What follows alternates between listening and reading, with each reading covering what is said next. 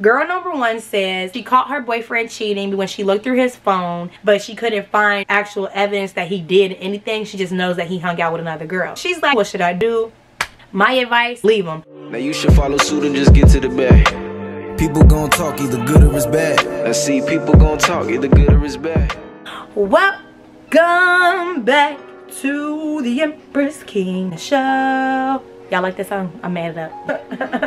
Alright, no, for real, y'all. Welcome back. So, this is a new segment that I'm starting on my show called Ask the Empress. It's gonna be like an advice column to your love and relationship problems. Um, is my first time doing this. If you want me to feature your question on my channel, message me on Instagram and I'll tag my Instagram right here. DM me if you want to be anonymous. Just DM me your question or DM me your story and I will leave your name out and I'll give you my best advice. Or you can comment below in the comments, just whatever one feels more comfortable. So I asked a few people around. So we're gonna call this girl girl number one. Girl number one says she caught her boyfriend cheating when she looked through his phone. He was at her house and he was sleeping or whatever and then she went through his phone because she has his password. She saw that he had been texting other girls. He hung out with a few other girls. She doesn't know if they did anything, but she hasn't confronted him about it because she didn't want to like tell him that she went through his phone. But she knows he's been doing something, but she couldn't find actual evidence that he did anything. She just knows that he hung out with another girl. So she's like, is that cheating? What should I do? My advice, honestly leave him. leave him. First of all yeah i get it. You shouldn't have been snooping around in his phone but you snooped around his phone because you felt something was off. Unless you're one of them paranoid crazy girls. We're not just snooping for our health We're not doing it for no reason. If we doing it is because we feel like something's wrong. And if you feel like something wrong and you found exactly what you're looking for i'll tell you why you need to leave him. I've been cheating on and i'm not with that dude no more. I went through his phone. I found him cheating. And you know what i did? I let him talk me in to staying with him. And you know what he did? Yes and again. And I kept staying and that was on me. And then my friend had told me at the time he was like if a dude cheat on you leave him because he's gonna do it again. I kept telling myself no he don't know he's talking about. He don't know. Woo woo woo and never happened again no he was right. Leave him sis. Leave him girl number one. Next scenario. This is gonna be guy number one. I have a crush on this girl. She is really gorgeous and she has the best personality. She's really popular. All these guys are all the guys like her. I don't know if she would be interested in a guy like me because i am a shy guy kind of guy. Sorry i can't read. I am a shy kind of guy. What should i do? Okay first of all do not downplay yourself guy number one. Don't matter if she the most popular thing on a planet. You are special in your own way. You know what i'm saying? She might like shy guys. Just because she's a girl that's super popular doesn't mean she want a super popular guy. It don't mean that she wants the guy with the loudest mouth. She might like the guy that's shy in a corner that's to himself. She might need that balance in her life. And if you just be yourself you step to her on some real stuff girls appreciate that. And girls appreciate a confident guy. It don't matter if you shy. You just have to be confident in yourself and proud of who you are if you a shy kind of guy that like to sit back in the background that is fine that don't mean she's not checking for you. She might think you cute, but she might not want to send this to you because she like, I don't know if he like me. Kind of want y'all to take that next step, take that initiative and say something. I say tell her how you feel. I mean, the worst that could happen is she don't feel the same and then now you know what it is. And it's not going to be the end of the world. It's plenty of girls that will talk to you. It's plenty of girls that will like you. It's plenty of girls that'll rock with you for you. There ain't nothing wrong with your shy boy. Tell a girl how you feel. And also just detach from the outcome. It might hurt your feelings a little bit, but now you know. She might see you with another girl and then she gonna be like, oh, wait a minute, I tweaked on him we're gonna call this girl setter three she didn't want me to put her name here. Basically i'm not gonna read this long thing. She got a friend who is just always negative always a debbie downer. Like she never wants to go out. Whenever they do go out she's always that one friend that's in a corner judging everybody rolling her eyes. She always the friend that's ready to go. She always got something negative to say about everything and everybody. Super negative but she's been friends with this girl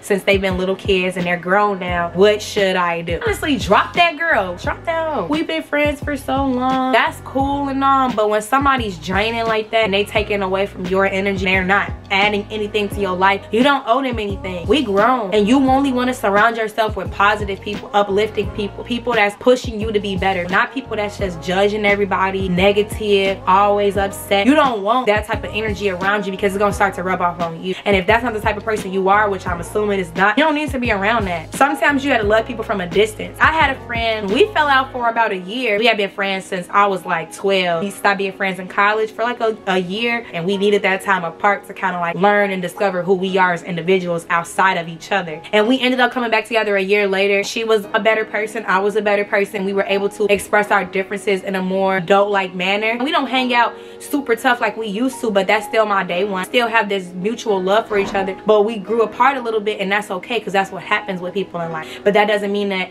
you love that person any less. It just means that you're heading this way and they might be heading that way. And some people you just gotta let go for good. I didn't have a lot of friends that I had to cut off. I didn't had a lot of friends that cut me off. And that's okay because we got different paths and not everybody can go where you going. And you can't go where everybody else going. She just might be a friend that you can't take with you. And the more you try and pull her with you, the more it's gonna weigh you down. And you gotta let go of the dead weight. And if it's really meant for y'all to be friends in the end, y'all gonna come back together when it's time for y'all to come back together. But sometimes you gotta release people. All right, we're gonna call this guy Smooth Operator. So Smooth Operator is in a situationship with his girl lady friend or whatever. She's not quite his girlfriend, but they do everything like a couple. You know the type of situations that I'm talking about. They hang out all the time. They're sexually active with one another. They're technically mutually exclusive. So he's kind of not mutually exclusive, but obviously she don't know that. She also knows that she's not his girlfriend at the same time. And he likes his girl, but he does not want to wife her because he doesn't feel like she's the one for him. What should I do? I feel like y'all need to stop wasting each other's time. Y'all not gonna date, but y'all still gonna act like y'all dating. Y'all might as well just just not date and call yourself friends and keep it 100 with each other. Y'all wasting each other times. We too old for that. Either you gonna have her or you not. Don't waste her time making her hold out for you because she thinking one day you gonna cuff her. The whole time you not looking at her like she gonna ever be wife. You're not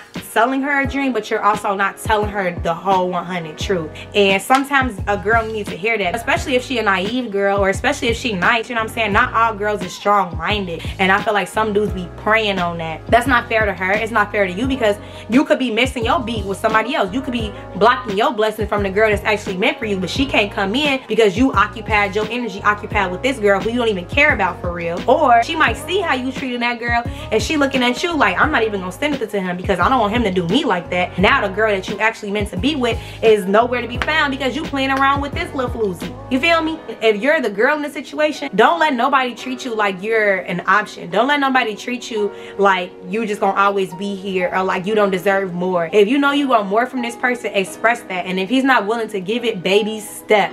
Because he gonna find somebody that's gonna do the same thing you doing. He probably already got somebody that's doing the same thing you doing. You just don't know about her because you the man. You never want to be nobody's man. You want to be the one and only, baby. The one and only. And you definitely don't want to be no sad. Smooth operator let her go g. You're being selfish. You know she clearly rock with you the long way and you don't rock with her the long way. So just you feel me? Be 100 with her. Like don't lie to her. Don't keep dragging her along. It's not cool. That's lame. Being a little boy. Last one. I have a boyfriend and he's uncomfortable in my relationship with my guy friends. Before we dated i always hung around my friends who were predominantly males. I don't really get along with females because i've always been into sports but now that i have a boyfriend he has a serious issue with me hanging around my guy friends when he's not around. What should i do? Okay i get it. Guys can be a little insecure when it comes to their girls hanging around males. And a lot of it has to do with the fact that they know how guys think. So like in the back of his mind he probably feel like some of these guys like you secretly. If y'all newer into this relationship and y'all haven't had this conversation yet i would say y'all really need to seriously have a sit down conversation and talk to one another and get to the root of the issue as to why he has an issue with it. Because if these are genuinely just your friends he should be comfortable with it. He should be okay with that. If you have not expressed that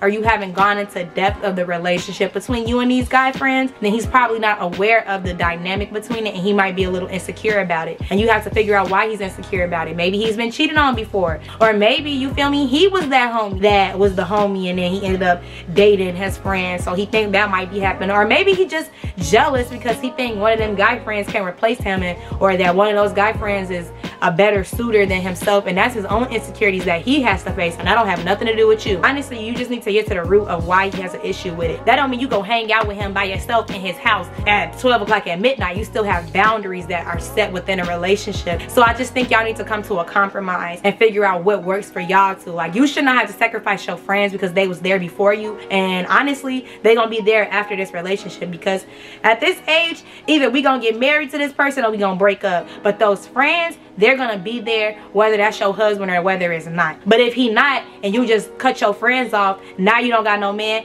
and you don't got no friends yeah, y'all just need to talk it out. Get to the root of the issue. Talk openly and honestly with one another. And then come to a compromise where y'all can both feel comfortable. There's nothing wrong with having friends of the opposite sex if they are respectful and they respect the boundaries of your relationship. That's all I have for Ask the Empress. I'm gonna do these once a week. DM me your scenario or DM me your question and I'll feature it on my channel. See you next time.